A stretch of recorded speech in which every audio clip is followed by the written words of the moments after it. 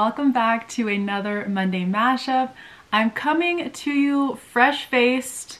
There's really nothing on my skin. I just did a face mask that had a lot of hyaluronic, just kind of pushed it into the skin and here I am. So I'm going to be talking about probably the least exciting step of your skincare regimen, which is cleansing today. And I have one particular product that has just been a star in so many categories for me, so I wanted to highlight this cleanser. But before I do that, I just wanted to show you guys proof that I have a green juice and I am just this epitome of health and fitness and that's basically it. If you saw my stories earlier today, you'll understand why I'm even mentioning this. I don't usually drink green juices, okay? This is not typically my thing. We tried it for about 30 days a couple years ago, and I actually did a YouTube video showing that we did a 30-day juice cleanse. It's a lot of work.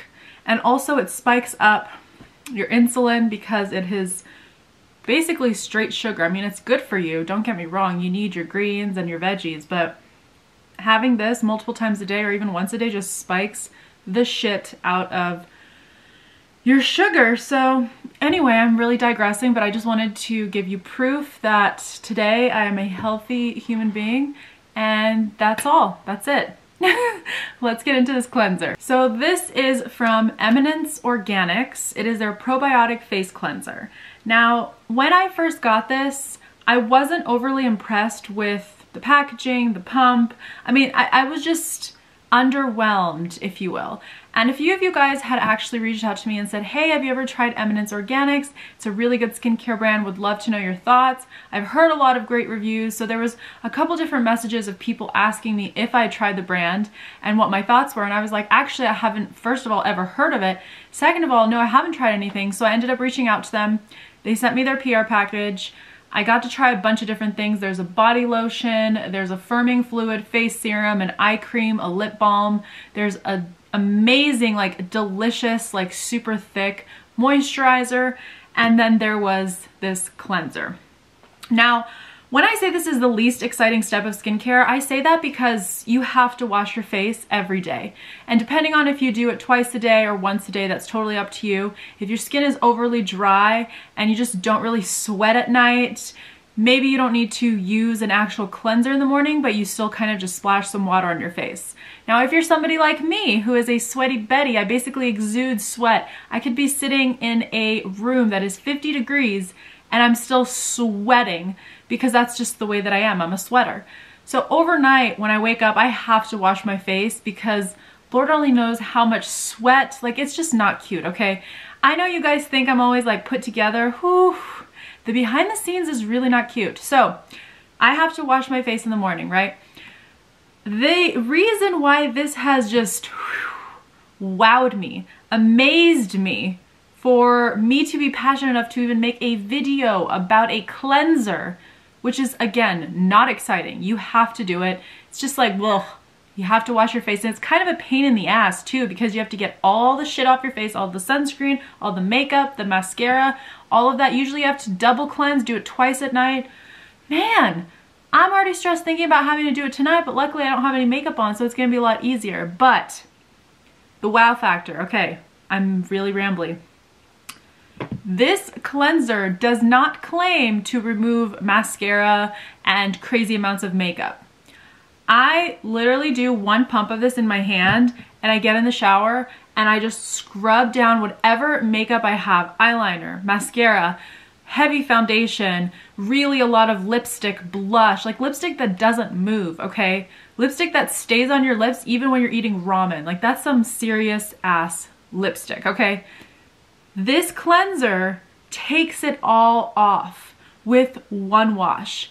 And that is why I liked it because they didn't market it that way. Now there have been some of my favorite brands, like my top five that you guys could probably name off the top of your heads that have come out with a cleanser that is a makeup melting cleanser, a makeup removing cleanser, a makeup surfacing cleanser, whatever it may be makeup related, they claim that it will take all your makeup off and their claims are bullshit. Typically, when the cleanser, in my experience, when I see that it says makeup removing, makeup melting, whatever it says about removing makeup, it is bullshit. It takes you like three times to wash your face before all the makeup is off. It's disgusting. And for companies to be marketing themselves in that way is really disturbing in my opinion because I can't tell you how frustrating it is to use a makeup removing cleanser and still see mascara on my face and foundation when I try to tone my skin.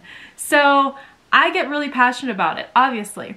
So this cleanser that did not claim that it was a makeup removing cleanser literally removes it all so quickly. It is super gentle. It's the perfect formulation, not too thin, not too thick. Has kind of like a minty, herbally element to it. It kind of has like a tingly, minty feel to the skin, which just makes it feel clean. You feel like you just washed your face. But also when you look in the reflection, you're like, wow, it took off all the mascara. And wow, it took off all the foundation. What a miracle. Oh my goodness, this is so good. Again, it's a cleanser. It's like, the cleanser the best cleanser I've ever tried. And I get cleansers sent. I have cleansers coming out of my ears, guys. Out of my ears. We, we can't even use all the cleansers. I have to just get rid of a lot of them. I'm going to read the back of this to you as well. This says, cleanse and clarify acne-prone skin with the cooling uh, properties of cucumber and tea tree oil. That's what it is. It's the tea tree that is giving you that cooling sensation that I kind of described as like pepperminty.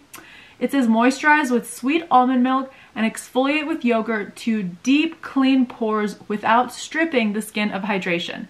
Now one of my favorite cleansers from Kiehl's does an okay job at removing the makeup. However, my skin after using that cleanser feels dry as a bone. So I do not use that cleanser anymore because I realized every time I use it, my skin starts to crack, especially around my mouth. I mention that area a lot because when it's cold, cracking around the mouth.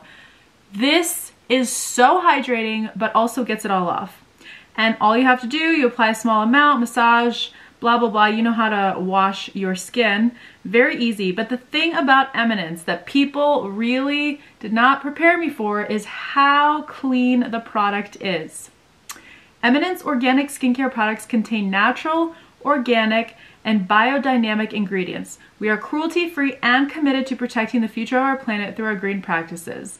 This company, it says on the back, is based in Vancouver, but the brand, it says it's made in Hungary, but Eminence Organic Skincare is based in Vancouver, which is a little confusing. But on the front, it does say Hungary since 1958. So they've been doing this since 1958.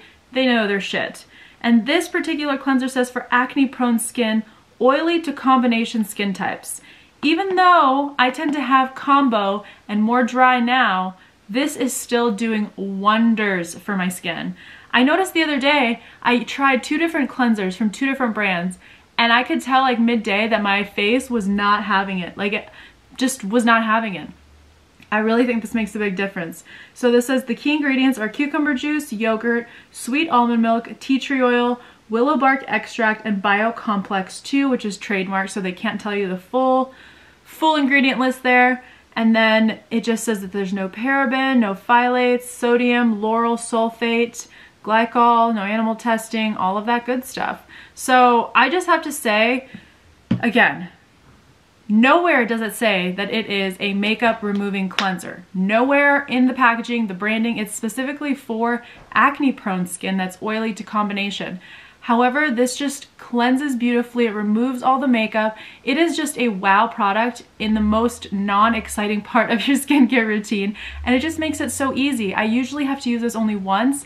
All the makeup is gone, skin feels nice and cleansed. When I go in with a cotton pad to tone the skin or go in with the Dr. Dennis Gross Peel Pad, there is no brown for my foundation, there's no blush, there's no mascara, nothing is left on my skin, and it took one pump sometimes too, depending on how much makeup I really have on my face.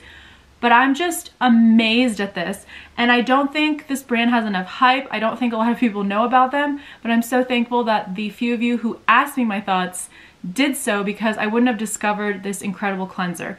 And it's not to say that the other products aren't amazing too. I just feel that I haven't really had enough time to go through them. We're testing so much and for me at the moment, this has been the star product. The body lotion is fine. It's just not wow to me. You know what I mean? Like this has been wow. So that is why I wanted to tell you guys about this cleanser today. I would love to know what your current favorite cleanser is that also removes makeup.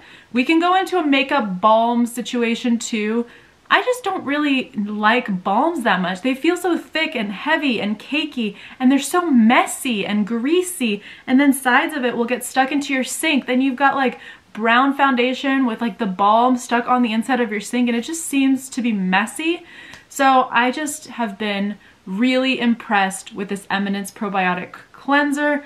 Again, I will have a link for you guys in the description box below, but please tell me in the comments what your favorite cleanser is at the moment that also you find does remove your makeup. Now, if you are somebody who double cleanses, which is basically what skincare experts are telling us to do, it would mean that you have kind of like a makeup balm first, something that really breaks apart the makeup, and then you would go in something that is more treatment specific like this because this is more geared towards acne prone skin.